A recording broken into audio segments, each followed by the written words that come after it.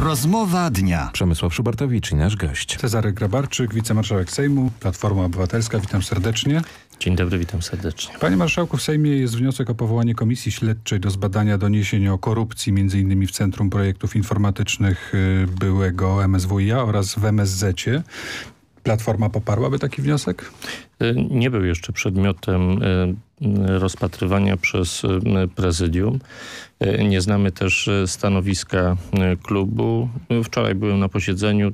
Ta kwestia nie była omawiana. Ale czy powinna być omawiana? Czy według pana taki wniosek w sprawie takiej korupcji, o której w tej chwili jest bardzo głośno, CBA mówi nawet, że to jest jedna z największych, o ile nie największa afera korupcyjna w ostatnich latach w Polsce, nie powinien być rozpatrywany? Nie wiem, czy to nie jest przedwczesne, ponieważ dopiero w tym, w minionym tygodniu pojawiły się pierwsze takie doniesienia, które rzeczywiście zatrważają e, dotyczące skali. Czy to e, jest właściwy moment, e, żeby przenosić śledztwo na grunt polityczny? Czy to nie jest za wcześnie? Półtora miliarda złotych. To jest kwota zamówień kwota. przekraczająca nawet to y, półtora miliarda właśnie i y, przez wiele, wiele lat. Ktoś tak? powinien politycznie y, ponieść za to odpowiedzialność według pana? No, ja nie znam szczegółów. Być może pan redaktor miał dostęp do akt sprawy.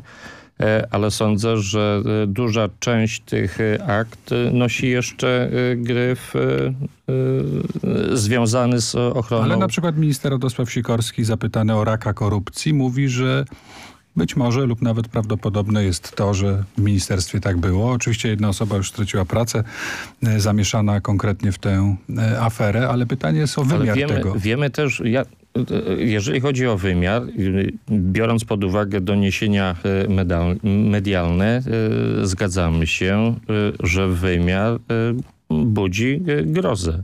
Natomiast ja wiem, że aby wyjaśnić sprawę, także przed komisją śledczą trzeba mieć dostęp do y, wielu y, materiałów y, ze śledztwa. Nie wiem na jakim etapie jest w tej chwili to śledztwo. Mamy wnioski o tymczasowe aresztowanie. Wiemy, że jest wiele osób zatrzymanych. Zostały postawione zarzuty, ale ja kiedyś pracowałem w komisji śledczej i przerzucaliśmy kartki kilkudziesięciu tomów akt nie wiem, czy w tej chwili y, dostęp do tych y, akt byłby y, możliwy, biorąc pod uwagę choćby zaawansowanie śledztwa. No tak, ale jednak CBA mówi otwarcie o tym, co się dzieje. Zatrzymania są, dotyczą konkretnych spraw, więc dlatego pytałem o ten wymiar polityczny, o te wnioski.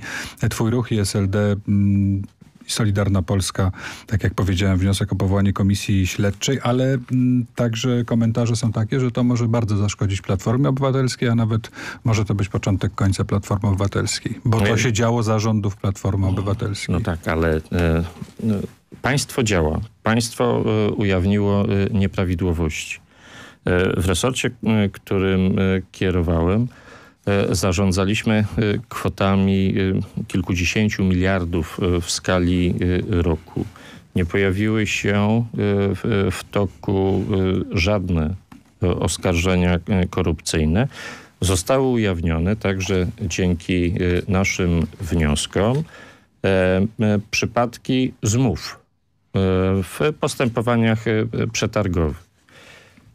Ten wymiar polityczny sprawa nabiera e, wówczas, e, gdy e, politycy uczestniczą w takim procederze. W tym przypadku, o którym mówię, nie było żadnego związku polityków z tymi sprawami. To dlatego, że politycy poprosili służby specjalne o ochronę o taką prewencyjną tarczę kontrolę. Antykorupcyjną. Tarczę antykorupcyjną. Tak mówił Grzegorz Schetyna. E, tak mówił też premier Tusk.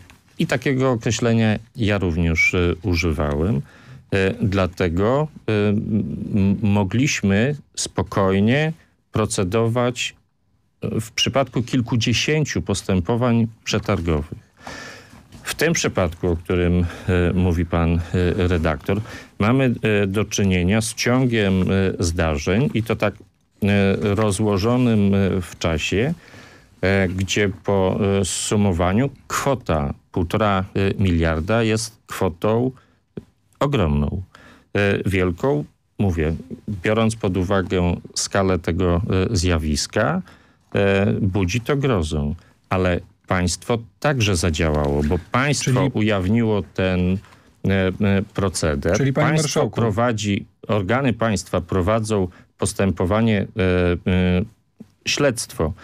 I po zakończeniu postępowania karnego będzie być może pora, aby podjąć e, śledztwo e, parlamentarne. Dziś Panie marszałku, czyli nie... jeżeli Prawo i Sprawiedliwość domaga się dymisji Radosława Sikorskiego, to pan się nie zgadza z takim wnioskiem czy z takim apelem? No, e, to, że w resorcie postawiono zarzuty konkretnej osobie, to nie znaczy, że politycy mieli z tym związek. Panie marszałku, czy istnieje spółdzielnia Grabarczyka? Nie, już Platformie Obywatelskiej? tłumaczyłem e, w, wczoraj głównie w parlamencie, że nie ma czegoś takiego jak e, spółdzielnia. A spółdzielnia Biernata, bo Dariusz Joński z SLD mówi, że spółdzielnia Biernata trzyma w szachu premiera. Pojęcie spółdzielni pojawiło się jeszcze w poprzedniej e, kadencji i w toku takiej wewnętrznej rywalizacji jedna grupa została obdarzona taką łatką. Chodziło trochę o powrót do przeszłości. Pamiętamy w kadencji, w której rządziła akcja wyborcza Solidarność, także konkurenci obdarzali się epitetami i jest... E, nie ma podziału w Platformie Obywatelskiej, jest, nie ma także... Jest w Platformie większość. Większość, która udziela e, pełnego wsparcia szefowi rządu. No ale jeżeli Andrzej Biernat jest... mówi o tym, że potrzebna jest, czy w ogóle mówią tak politycy, że potrzebna jest zmiana szefa klubu Platformy Obywatelskiej, jak, szef klubu Platformy Rafał Grupiński redaktor, odpowiada, że pusty dzwon bije najgłośniej. Jak pozwoli mi dokończyć, to wypowiem się pełnym zdaniem. E, jest w Platformie większość. Ta e, większość e, chce wykonywać swoją pracę rzetelnie. Chce pracować nad projektami, które przedkłada rząd. Przygotowuje własne projekty. I ta większość udziela wsparcia rządowi. Nie zajmuje się na co dzień jakimiś grami. Kończymy zresztą w Platformie już ten sezon wyborczy. Sezon, w którym trochę za dużo y, emocji y, uzewnętrzniliśmy. Panie marszałku, Rafał Grupiński powinien odejść ze stanowiska szefa klubu, czy nie? To jest decyzja klubu. W klubie, A według pana? W klubie jeszcze taka decy decyzja nie była nawet rozpatrywana. A według pana? Według mnie za wcześnie, żeby o tym mówić. Panie marszałku, a Grzegorz Schetyna ma mocną y, pozycję w Platformie Obywatelskiej? Powinien na przykład wiedzieć jako pierwszy wiceprzewodniczący o tym, że będą zmiany w rządzie? I jakie zmiany? E, o tym praktycznie e, nie wiedział e, nikt. Spotkaliśmy się na zarządzie w dniu, w którym została zapowiedziana przez szefa rządu rekonstrukcja i premier uzasadnił dlaczego e, do ostatniej e, chwili e, nie ujawniał, nie konsultował także z zarządem swoich planów. Cel osiągnął. Praktycznie nikt nie wytypował pełnego składu nowych ministrów. Państwu w radiowej jedynce także ta sztuka się nie powiodła. I y, sądzę, że y, efekt, y, który uzyskaliśmy po zapowiedzi zmian, po przedstawieniu konkretnych kandydatów jest zgodny z oczekiwaniami, bo chodziło o to, żeby kandydaci zaskoczyli, ale czekamy teraz na kolejną odsłonę, bo najważniejsze jest to, żeby ci nowi ludzie pokazali, że chcą wykonać określone zadanie. Panie marszałku, jest opinia profesora Wojciecha Paprockiego z Katedry Transportu Szkoły Głównej Handlowej w Warszawie, że likwidacja resortu transportu to krótkowzroczna decyzja, która pogłębi problemy na kolei.